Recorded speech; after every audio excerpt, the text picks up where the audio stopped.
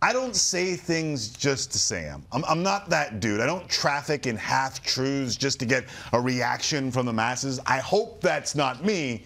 And I'm also a sports fan, so I understand what I'm saying here. I think Connor McDavid could be the best athlete on planet Earth right now. I think Connor McDavid is the best athlete in the world right now.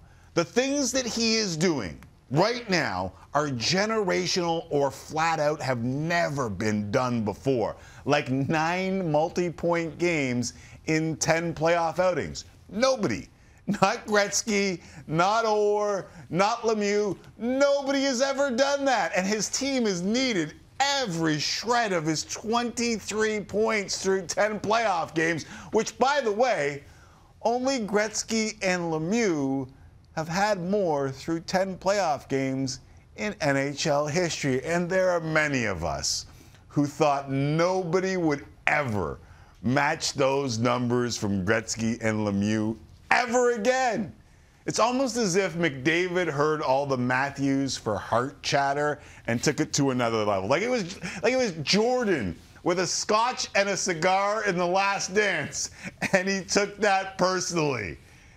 Oh yeah? Matthews hurt? All right. And if you think it's just a run, you're wrong. Not only does he have 146 points in his last 90 games, but he has 123 points in the regular season this year. That's tied for third highest total since the turn of the millennium. Think of it this way. When he was drafted in 2015, the leading scorer in the NHL was Jamie Benn with 87 points. He just put up 123. McDavid has had 100 points in five of his six seasons since his rookie year was ended because of an injury back in 2016. From 2010 to 2016, there were only four 100 point seasons in the entire NHL. And his grand total of 228 points in just 136 games over the last two regular seasons puts him at a 1.68 points per game clip.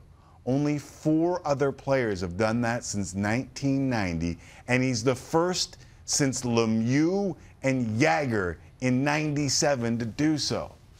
Okay, so he's at Gretz and Mario levels in hockey, which is stupid, and many of us thought we would never see that again. And look around the rest of the sports world.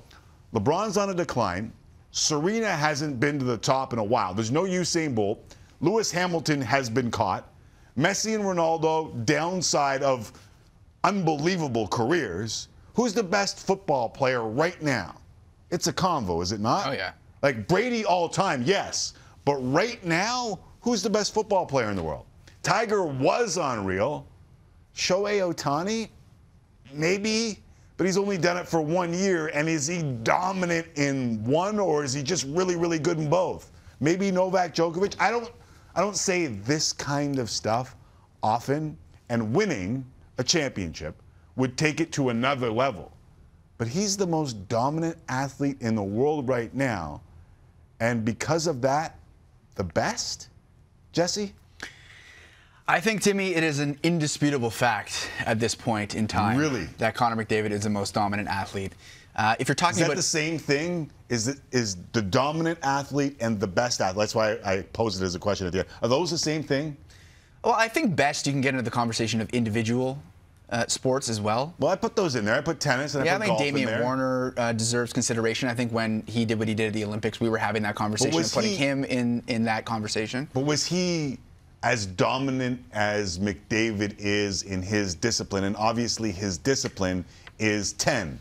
so Right. that change, like I always feel like the decathlete is always in the conversation, but it's always kind of a separate conversation. Yeah, it's hard, it's hard to quantify because they are, like, technically speaking, probably the most athletic people that exist. Right. When you perform in the decathlon, right? And LeBron James in his prime was the most athletic Yes. person by far in the world. But you also could have said for a time Russell Westbrook was maybe the most athletic person in Right, the world. right. Right. So yeah, I guess jump, right? Right. Like, so I guess athletic and and or I guess dominant and best. I would put best in the more athletic category. but I don't want to split these atoms. I just are those the same thing? Are, is the best athlete in the world the most dominant athlete in the world? Yeah, I'm gonna think go with so. that. Yeah, Yeah. I'm gonna go with that. Yeah. Um, I was giving this a lot of thought earlier, and I thought the only one that I think that comes close is Steph Curry. And the reason I say that is because when it comes to winning and winning time and the ability to take over, he's the one guy that I think and I have thought over the past five years or so that has the ability to get it done and take over when it matters. And I realize that he's not on the same stratosphere because the ability to do it by yourself is something that I think McDavid it's unmatched. But when it matters, and he's proven because he's got the rings now, and he's doing it again Yeah. right now, But I think that's where I would go. I think you're making a false equivalency because you like Steph and you're equating winning to most dominant athlete. Like if you were to talk to NBA fans and ask them the best player in the NBA right now, I don't think you'd get as many answers for Steph as you would Yeah. Connor McDavid being the best player in the NHL. I think that's right, but I also thought about this because when you're looking at the MVP in the NBA, Steph isn't in that conversation this season. No. But Connor McDavid's not going to win the Hart either. But he's going to be second in a close vote that's probably based on narrative more than anything else. And I, I said on this show that I would probably vote for Matthews for Hart. And now I wish I could take that back. Well, you because I knew what it was. It was a, it's a narrative-driven trophy, oftentimes MVP in a sport, and McDavid's already got two. Draisaitl's got one. Give Matthews his because not many people have ever scored 60 in the NHL, and certainly not many since the turn of the century, right? Like, what are we at? Three for that? Yeah. So I, I get that you was a, a maybe an open door to give someone else the award, and people are going to do that. I think Matthews will win the Hart, but I also think if you asked anyone for one player on your team, given what you've seen mm-hmm. in these 10 playoff games, there's there's absolutely no doubt right now. Yeah, I mean, but you, I can push back on that a bit because you don't, you wouldn't have to take your vote away or change your vote because it's, it's obvious that he has taken his game now to a level that was not there during the regular season. No, I know, but we could be seeing like the greatest season since Lemieux or Gretzky, and he's not going to win the Hart. like right now, we're we're this is at unforeseen. I, I never thought we would get to a level where we were talking about guys like Mario and Gretzky. I honestly didn't. I thought those numbers were a relic. They were going to be like Wilt Chamberlain, Yeah. honestly, in basketball, where you're just like 200 points, give me a break.